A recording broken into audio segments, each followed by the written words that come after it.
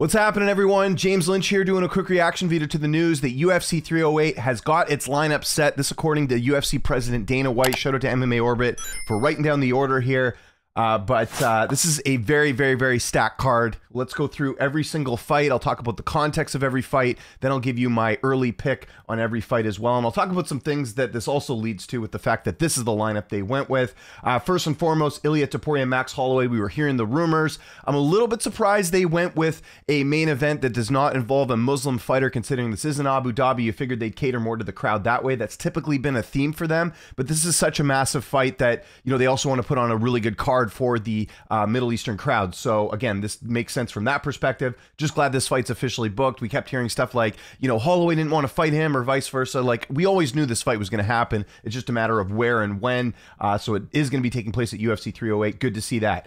Second fight, Robert Whittaker, Khamzat Chimaev. I'm a bit surprised they went this route. Um, just because Whittaker fought Ikram right? And then that was like the short notice fight, and you figured that that the UFC would have rewarded Whittaker for maybe a title shot or something like that. Instead, instead he's getting the fight rebooked with Chimaev. I don't mind this fight in the sense that I want to see Chimaev tested. That's my big thing. Is that you know he has not fought a ranked middleweight yet, so I do want to see him tested. I think Paulo Costa would have been the better fight just because then you know Whittaker kind of did the job of fighting the replacement fighter, which he had a lot to lose in that fight. Let's be honest here, right? Fighting Ikram, who wasn't ranked, very dangerous. Whittaker goes out there and beats him.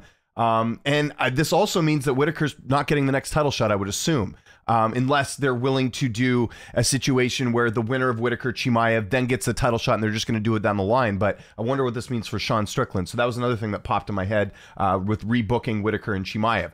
Gane and Volkov, we pretty much knew that was happening. I don't know what took so long to actually confirm that officially. That makes sense as Tom Aspinall needs to wait for his next challenger. Uh, and Volkov is probably going to be the next one. I know people think Jon Jones is going to fight Aspinall. As I've said many times on this channel, I don't think that happens. I think Jones is going to retire when he fights and uh, most likely defeats Stipe Miocic. And this is the one that I scratch my head at. And I know there's going to be people arguing and being like, what's the big deal? Why is Ankalaev fighting Rakic? Rakic came off a knockout loss to Yuri in his last fight at UFC 300.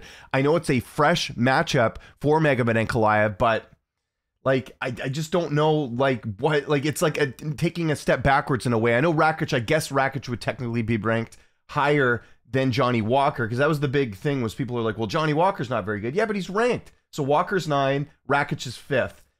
I don't know. I just feel like Ankalaev and Pereira should have been the next fight. Now, I understand as well if Pereira's like, look, I don't want to fight in the Middle East. I just did you guys a favor by saving, um, you know, two UFC cards, right? The UFC 300 card and the UFC uh, 303 card. I can understand Pereira needing some time off. So maybe it was a case of just keeping Ankalaev active or they have other plans for Pereira. One thing I mentioned in my video yesterday when we found out Ankalaev was not going to be fighting Pereira next is if Izzy beats Dricus Du Plessis, that's a possibility of him moving up and fighting Pereira. Is it fair? No, but that's also an option I forgot to mention in my video. So again, Ankalaev Rakic is going to be a fun fight, but is anyone picking Rakic here? Like I think Ankalaev's probably going to win that fight. Um, I, I, just don't think it does much for Ankalaev other than keep him active. Um, I, again have been very much you know advocating for Ankalaev and Alex Pereira. Anyways, let's work our way up as far as picks.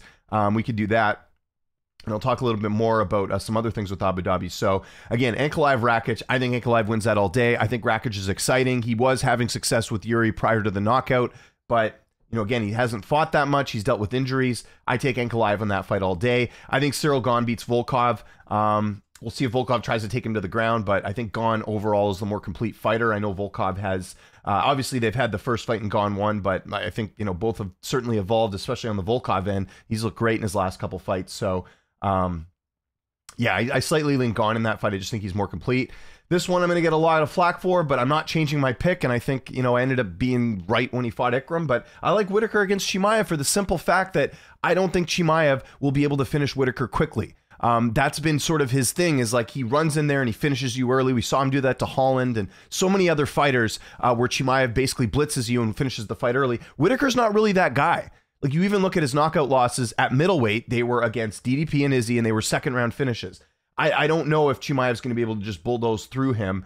Um, in in that regard. So again, I think Whittaker could edge this out if the fight goes longer. I'm assuming it's a three round fight. This really should be a five round fight if it is going to be for the middleweight title or the winner gets to fight for the middleweight title. But yeah, I'm going to lean on my guns here and go with Whittaker. I know I'm going to get a lot of hate for that, but I just again I picked Whittaker the first time around. I'm not going to change my pick all of a sudden.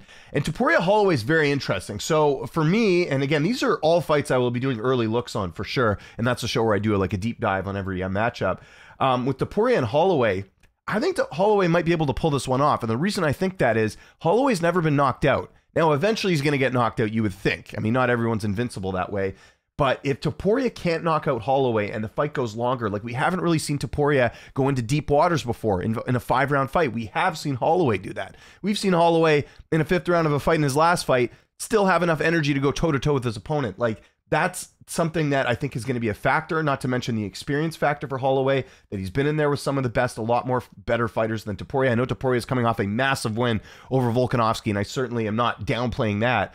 But Holloway is tough to take out, and I think over five rounds, if Ilia can't get the finish early, I think you have to favor Holloway, and I just don't see Holloway getting knocked out. So my pick there will be Max Holloway for that matchup. Couple other things about this card.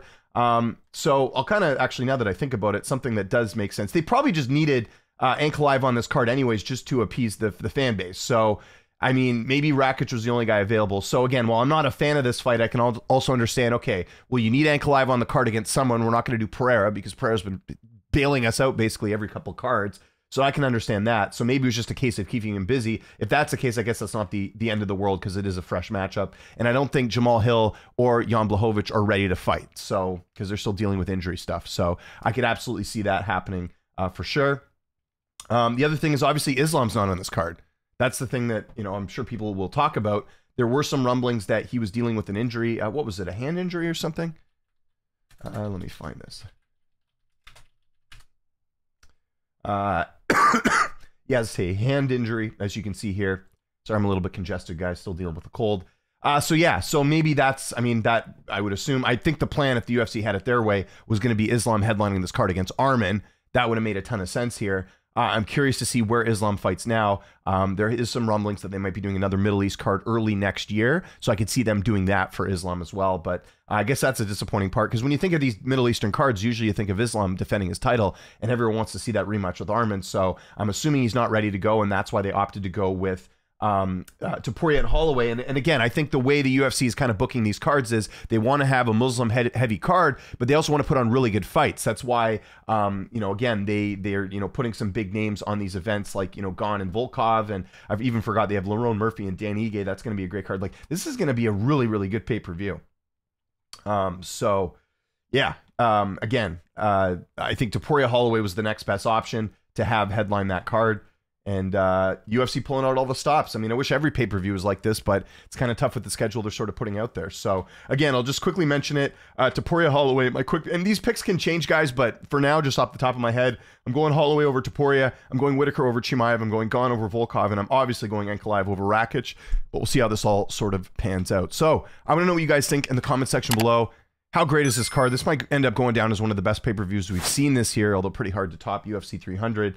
Um, yeah, and what are some of your early picks on on this uh, on this card? I would love to hear from you. I will be getting early look previews and pros picks for most of these fights uh, in the coming months, so keep an eye out for that. Uh, my name is James Lynch. Thanks so much for watching. If you enjoyed this video, hit that like button, hit the subscribe button, hit that notification bell. Uh, appreciate you tuning in, and I'll talk to you guys soon.